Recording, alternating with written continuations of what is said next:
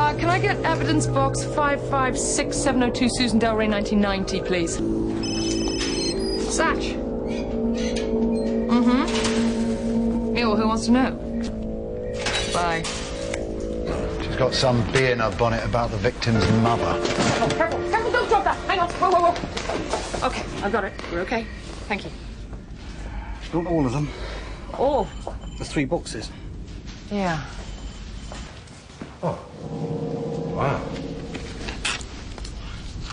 Thank you.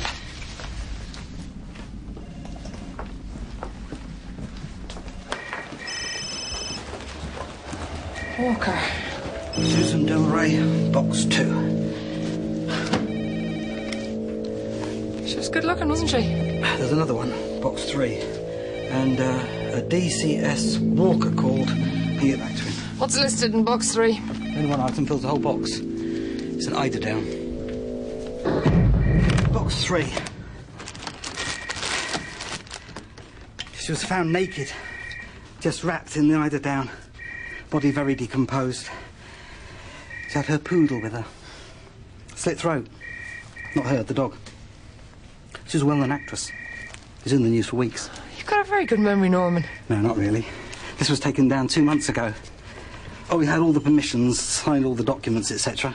He had a young woman with him, but couldn't let her in, no matter who he was. Who's the he? Um. Can I see all the paperwork, Norman? Here you go. I hope to Christ the dog's not in here. What? Oh, no, it's a joke. This girl who tried to get in here? yeah, that's her. He said she was Del Rey's daughter. Lovely looking. She's not anymore. She's dead.